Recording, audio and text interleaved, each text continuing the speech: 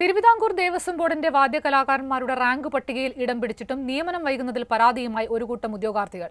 നിയമനത്തിനായി രണ്ടായിരത്തി ഒൻപതിൽ ബോർഡ് തയ്യാറാക്കിയ പട്ടികയിൽ ഇടം പിടിച്ച എട്ട് ഉദ്യോഗാർത്ഥികളാണ് ബോർഡിന്റെ ഇരട്ടത്താപ്പ് ചൂണ്ടിക്കാണിക്കുന്നത്.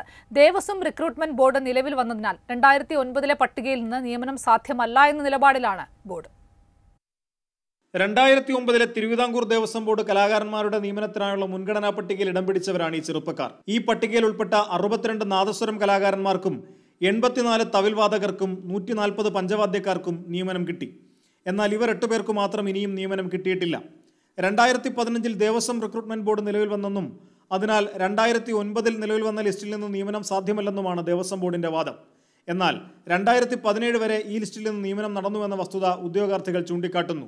സർട്ടിഫിക്കറ്റ് വെരിഫിക്കേഷന് പോലും ഹാജരാകാതിരുന്ന ഉദ്യോഗാർത്ഥിയെ ഇപ്പോഴത്തെ റിക്രൂട്ട്മെന്റ് ബോർഡിന്റെ ചെയർമാൻ നേരിട്ടിടപെട്ട് ലിസ്റ്റിൽ ഉൾപ്പെടുത്തി രണ്ടായിരത്തി പതിനേഴിൽ നിയമനം നൽകിയെന്നും ഉദ്യോഗാർത്ഥികൾ പറയുന്നു. രണ്ടായിരത്തി ഏഴിൽ ഞങ്ങളുടെ ഒപ്പം തന്നെ പഠിച്ച് പാസ്സായ ഒരു വിദ്യാർത്ഥി സർട്ടിഫിക്കറ്റ് വെരിഫിക്കേഷന് പങ്കെടുക്കാത്തതുകൊണ്ട് ലിസ്റ്റിൽ ഉൾപ്പെട്ടിരുന്നില്ല.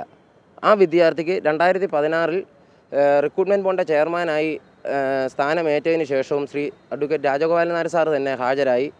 അവന് സ്ഥിര നിയമനം പരിഗണിക്കണമെന്ന് കോടതിയിൽ നിന്ന് ജഡ്ജിമെന്റ് വാങ്ങി അവനും നിയമനം നൽകിയിട്ടുള്ളതാണ്. എന്നിട്ടും ലിസ്റ്റിലുള്ള ഞങ്ങളെ എട്ട് പേർക്ക് ഇതുവരെ നിയമനം നൽകിയിട്ടില്ല. ദേവസ്വം ബോർഡിന്റെ വിവിധ ക്ഷേത്രങ്ങളിൽ താൽക്കാലിക ജോലികൾ ചെയ്യുകയാണ് ഇവർ എട്ടുപേരും ഇപ്പോൾ.